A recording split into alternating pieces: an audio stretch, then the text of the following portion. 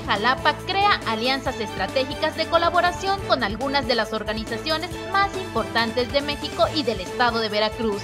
11 de agosto, con BORCAP, empresa dedicada a la exploración artificial de pozos petroleros.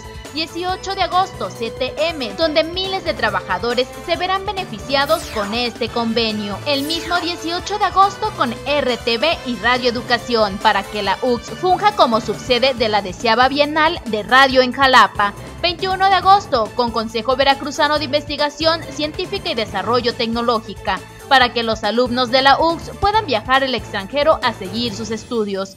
Así es como la universidad reafirma su compromiso con el crecimiento de la sociedad a través de la educación.